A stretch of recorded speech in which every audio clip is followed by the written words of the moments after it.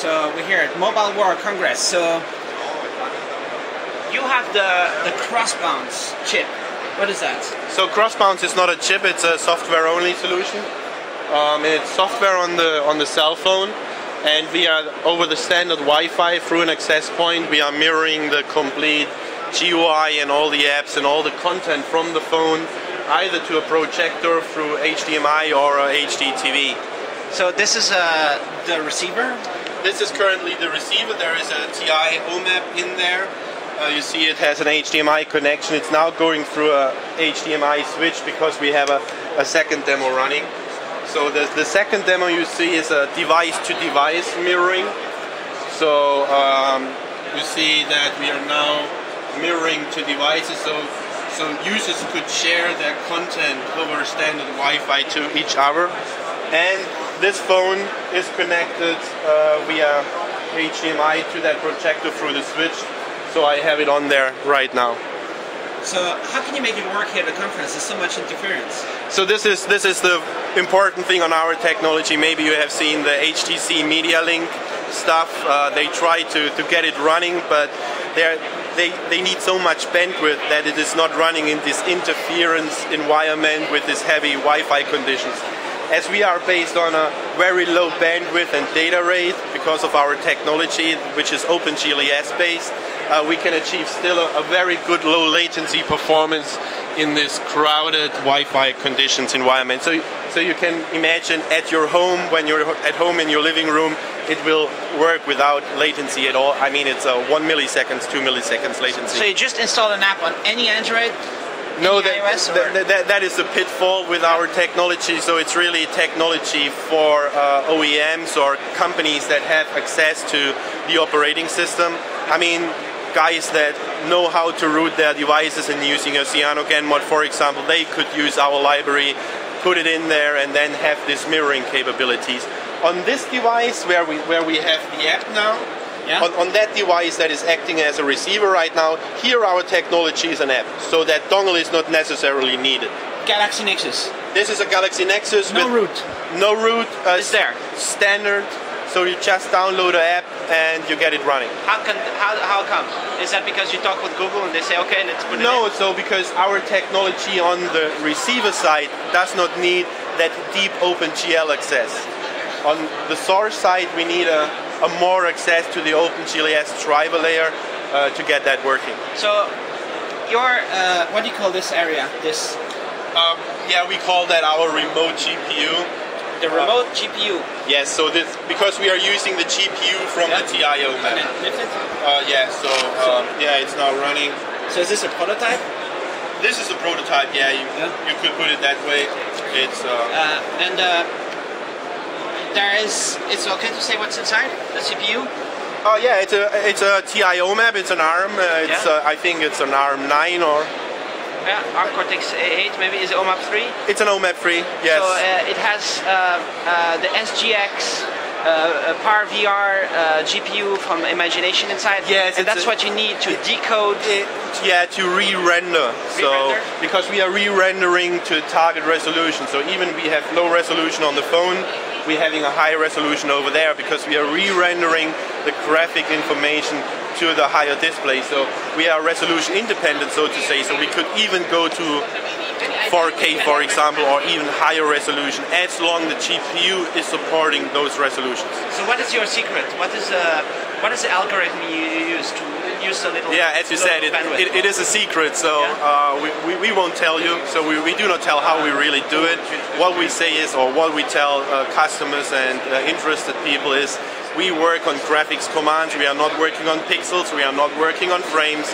We are working on the graphics, really where images and frames are generated. We are, we, we're catching the data where it is generated. You're not sending a command like saying open open the browser and then it opens the browser. It's not just that. It's, no, it's not just that. The screen is. It, it, it's really it, the screen. It's the screen information of the GPU. Yeah. And. Uh, it, it has it's not vector graphics it's OpenGL stuff. it's OpenGL stuff, vector graphics stuff. So it's a mixture of uh, a lot of things. Yes. Is it better than Apple mirroring? Is it better than all the other mirrorings on the Mac? We, we think so that we are better than other mirroring solutions, especially now today you can see, I think they have announced it yesterday, the HTC Media Link. Um, they do not get it running because of these Wi-Fi conditions here, so they have a hard time. They have a lot of artifacts because they have a high data transport bandwidth they need uh, to get their solution running. I mean, we are standing here in this environment, and yeah, we, we, we on the Wi-Fi. on the Wi-Fi we just do it. We And uh, what's it called? Uh, uh, what kind of bandwidth do you need? Is that also Um, a secret? Of or- course, no, it's not a secret. It, it, it really depends on uh, the, the apps that we are doing, on the data we, we, we, are, we are having. So this ranges, for example, now we are doing Angry Birds. So Angry Birds will take about uh, 50 kilobyte of data per second transfer, and this is why we still work pretty good. Is so. it dynamic uh, frequency? No, that refresh? no, that's that's the problem we have with the conference here. So we have a fixed channel. We are working on Wi-Fi channel, on a fixed Wi-Fi channel. So we do not can turn on the automatism to always look for the best Wi-Fi channel. But what I mean, uh, the frequency or the ref- refresh rate. If Ah, nothing okay. happens, it doesn't need to send data Exactly. automatically. Yeah. So So there is no continuous transport of data. it's not a full video No, uncompressed no, no, video no, no, no. going. It's not based on pixels. It's not based on frames. So we are not doing iframe only encoding and decoding again. What Wi-Fi display is doing, for example. And, And you're still seeing. it's quite smooth. How about video? It's better not to do wireless, no? Uh, video, we, we can do video as well, but this is now where the Wi-Fi is really too hard to do it. So, but this is then a kind of standard DLNA technology. So in theory, it's okay to do video. Yes, in theory, it's okay to do video. But uh, maybe it's better to just connect the cable when you do video, and the rest you can do. No, I, I would say it's it's better to have a better Wi-Fi environment. So in your living room, video streaming would not be a problem because there we of course do RTP streaming. So no fancy stuff, just Even standard HD? technology, even HD, Even 1080p, even 1080p. and even the most advanced video games, it's the same as video. It's basically. I, I would I would put it that way. Yes. Yeah. So you would basically say that you would suggest using everything that. Yes. Yes. All right. So how soon as available? Uh, uh, how many millions of phones ship with it? And So currently, it's the first time that we really show it uh, officially out there. We, we, we're having talks to a lot of uh, customers and they like the solution. They see the benefit of the solution compared to other technologies. We think that maybe at the end of the day there will be a combination out in the market, a combination between Wi-Fi display and xBounds because there are also benefits on the other side and combining these uh, two solutions uh, would, would create the best user experience. so you, there's a license fee to add your technology. Yeah, so it, it's a licensing model, it's IP licensing, it's software, and, and the beauty is you do not have to add any hardware to your phone or to your TV set. It's software, it's Linux based, you can port it. Where are you based, the company? it the company is based in Germany, Hanover, Garbsen. And uh, how many engineers are you? We are 40 engineers. 40? Yes, 4-0, but not everybody is working on xBounds. We're, we're doing design services. We have been an ARM uh, design center for a long, long time, so we are doing chip design for customers. Like SOCs? SoCs, embedded software design as well, so embedded Linux systems. Yeah. PCB design house. Also. As well, yeah. So maybe I can I can show you. So um,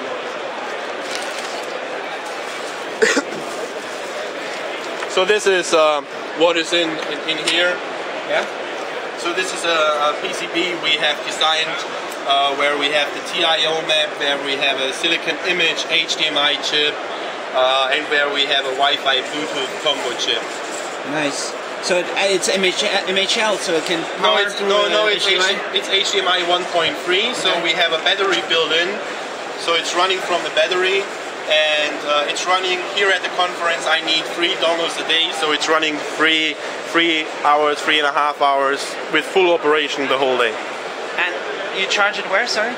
Um, there is a, a USB uh, port at the back. You can just keep it charged all the time. Yeah, so so of course on your TV with a small USB cable, you could plug it into the USB port of your TV and you, you could charge and power it all the time. So the battery is this bump?